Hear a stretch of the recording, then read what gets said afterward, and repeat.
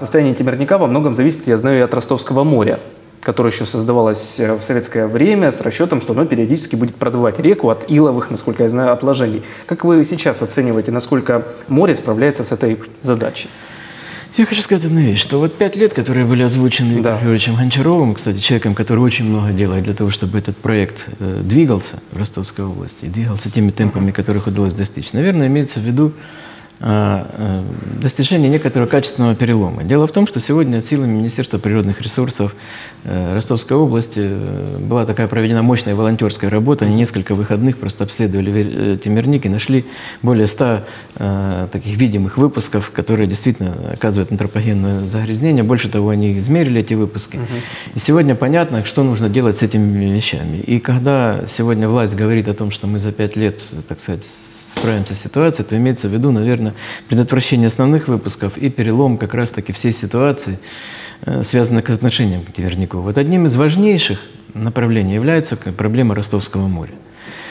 Проблема Ростовского моря заключается в том, что, по сути дела, Ростовское море подпитывается несколькими притоками Темирника, угу. но основной из них находит, э, пополняется, так сказать, из э, очистных сооружений канализации хуторе Ковалевка Оксайского района. На самом деле очистные сооружения канализации не существует. Это система прудов, где происходит отстаивание фекалий, и потом это все попадает в э, Ростовское море.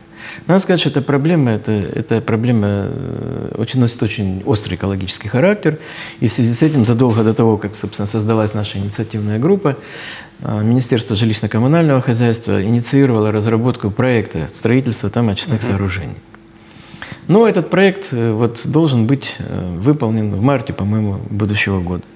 И вот сейчас Министерству жилищно-коммунального хозяйства постро... поставлена достаточно жесткая задача губернатором и вице-губернатором чтобы э, этот проект был э, выполнен вовремя, качественно, чтобы он прошел государственную экспертизу и начал воплощаться. Более того, на последнем совещании Виктор Григорьевич Чернышов поставил задачу в 2019 году эти сооружения построить.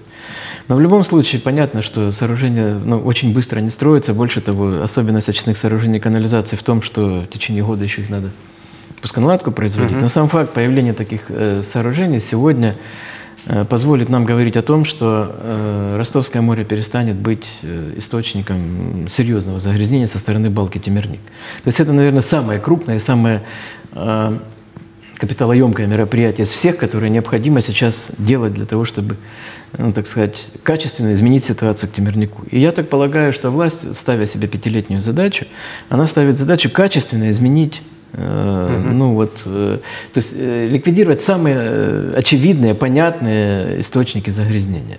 И в этом плане это, ну, пятилетний срок выглядит адекватно. Но, угу. по сути дела, система мониторинга, которую мы сегодня, так сказать, создаем, она должна существовать вечно. Больше того, когда будет экологический парк, она все равно должна существовать. Э, значит, система выявления э, по кадастровому принципу загрязнителей должна существовать вечно, потому что когда будет парк, мы также должны отслеживать, что происходит, и угу. не давать возможности кому-то э, создать новые источники загрязнений. Поэтому есть, будем говорить, такая долгосрочная программа, пока она ориентирована, там, скажем, 25 год, а при новом горизонте генерального планирования может быть изменена. Но вот эта пятилетняя программа, которую сейчас наметило правительство области, она выглядит вполне адекватно, она хорошо просчитана с точки зрения возможностей, ресурсов. И, по сути дела, ее реализация даст серьезные, качественные вот, ну, вот эти пять лет, потому что мы сейчас уже много обсудили, да, чтобы да. зрители понимали, пять лет это получается вот создать систему экологического мониторинга, да, выявить все выявить проблемы и... и решить наиболее сложные из них, которые сегодня очевидны.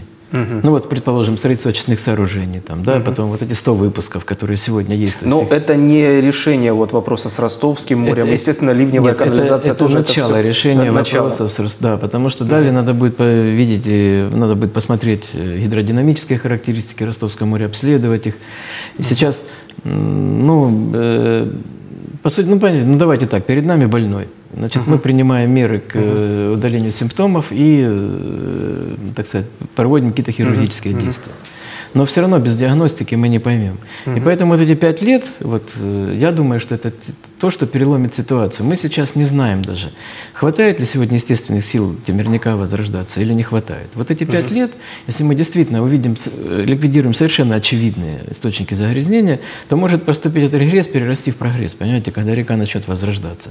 Угу. Удаление иловых отложений может привести к появлению новых ручьев, ну, вернее, к освобождению угу. новых ручьев. Снижение источников загрязнения может привести, там, скажем, к улучшению характеристик, снижению антропоген, ну, снижению того вредного воздействия, которое река оказывает на город. И самое главное, вот эти ковалевские очистные сооружения просто ликвидируют последний серьезный источник стоков. Вот, если говорить вообще об источниках, 10 лет назад самым главным загрязнителем Темирника был Ростовский водоканал, который в районе КНС Северный, там 15 тысяч кубических метров в сутки сбрасывал неочищенных э, канализационных стоков. Uh-huh. Сегодня Ростовский водоканал практически везде перестал оказывать антропогенное uh-huh. воздействие на реку Темирник. В этом году состоялось очень серьезное событие. Даже вот эти очистные сооружения военведа, которые были в ужасном состоянии и не могли обеспечивать полную очистку, Ростовский водоканал переключил на подземные коллекторы и полностью прекратили сброс uh-huh. в Темирник. То есть происходит, uh-huh. позитивные процессы происходят. Есть очевидные вещи, которые надо делать сегодня. Но тем не менее вот эти обследования, мониторинг позволит нам прийти к идее природного парка. Вот к мониторингу и к межеванию прилегающих территорий. Насколько мне известно, правительство области выделило на эти цели 30 миллионов рублей. И сейчас именно эта работа и ведется. Вот она на какой стадии, и она именно до 2018 года правильно должна завершиться, так? Да, там, значит, два этапа. Первый этап в 2017 году, они начали буквально с весны. Это основное, основное русло реки Темирник, это вот выявление этих э, картографий 477 участков и, э, так сказать, создание, прорисовка красных линий, создание той самой территории, которая, э, выполнение проекта планировки межевания в рамках основного русла. Вот Большие Салы, э, селение в Мясниковском районе угу. до впадения в реку Дон. В будущем году это исследования пойдут вправо, в сторону Ростовского моря и притоков, которые образуют балку Темирник э, в районе уже, в Оксайском районе. И эту работу тоже будут выполнять. И мы полагаем, что к концу 2018 года эта работа будет выполнена, и это создаст юридическую основу для установления там охранных зон. В частности, мы предлагать будем, например, сейчас власти создать там особо охраняемую природную территорию регионального значения. Есть uh-huh. такой э, позволяемый законодательством акт, который позволит нам хотя бы предотвратить возможность новых загрязнений, новых uh-huh. там строительств это в этой территории. Да, то есть затем э, мы считаем, что очень важно будет к концу будущего года нам необходимо создать э, государственное учреждение, которое будет полностью аккумулировать в себе все полномочия и ответственность, связанные с управлением этим проектом.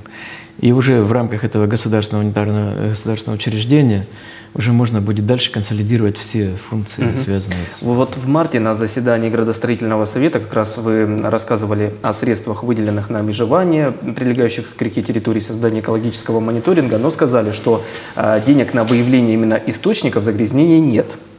Пока нет. Вот сейчас ситуация как-то изменилась, и разве экологический мониторинг для понимания телезрителей не должен включать в себя уже этот аспект выявления источников загрязнения? Нет, экологический мониторинг – это наблюдение за текущим состоянием реки и угу. отслеживание динамики. Это несколько другое. Это вообще государственная функция. У нас, угу. я уже говорил о том, что законодательство очень сильно оторвано от действительности. Поэтому, если вы прочтете закон, например, об экологическом мониторинге, то вы узнаете, что у каждой реки должен быть там колоссальный угу. мониторинг. Но учитывая, что власти постоянно сталкиваются с дефицитом средств, то денег едва хватает на мониторинг, ну, да. там, скажем, реки Дон и Азовского моря, где действительно там есть и судоходство, и рыболовство, и, которое является источником питьевого водоснабжения. Поскольку Темирник этими всеми качествами не обладает, он находился ну, где-то в тени какое-то время. Затем к нему было привлечено внимание, не без нашей помощи, как к реке внутри города, которая оказывает антропогенное воздействие сама, в свою очередь, на большой город. Власть это услышала, увидела и сумела, э, так сказать, сделать э, Темирник приоритетом. И вот что очень важно в данном случае, что действительно э, пока нет этих денег на эту работу, но в настоящий момент формируется Краткосрочный и долгосрочный план. Один – это на 2018 год, это по заданию Виктора Григорьевича Гончарова. Сейчас три министерства, в том числе и мы, угу. разрабатываем э, предложение к э, значит, двум дорожным картам. Одна дорожная карта на 2018 год, что нужно делать и финансировать в 2018 году, другая дорожная карта на 5 лет. Вот на этот самый пятилетний период, который уже захватывает и строительство Ковалевских очистных сооружений, угу. более широкий спектр проблем. Вот в рамках этой инициативы мы уже подали предложение о том, чтобы Э, вот эта работа начала финансироваться за счет, скажем, средств бюджета Ростовской области и проводилась в Ростовской области исключительно потому, что она проводится на территории трех э, муниципальных образований, и здесь усилий города и бюджета города недостаточно. И может быть то, что этих денег не появились в 2017 году, как раз-таки э, и наша проблема, я имею в виду наша общественная организация, которая ну, начала, так сказать, предлагать эту программу финансировать города.